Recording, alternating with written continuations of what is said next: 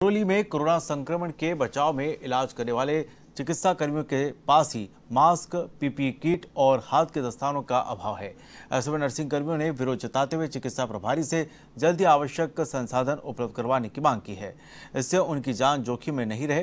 Rajasthan nurses संगठन के अध्यक्ष विक्रम मीणा ने बताया कि जिला अस्पताल के कोरोना वायरस वार्ड के आइसोलेशन कक्ष में करीब अट्ठावन संदिग्ध मरीज़ भर्ती हैं।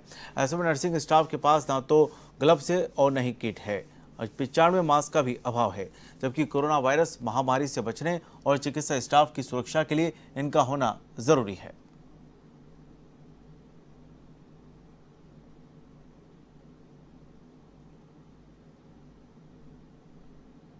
हर पेशेंट के लिए पानी की अलग अलग व्यवस्था होनी चाहिए। जबकि यहाँ एक ही कैंपर में सभी मरीज़ पानी पी रहे हैं। आइसोलेशन वार्ड के अंदर? आइसोलेशन वार्ड में जो कि तो आपने इसका ऑब्जेक्शन किया कभी? साहब से कह दिया। हमारी आज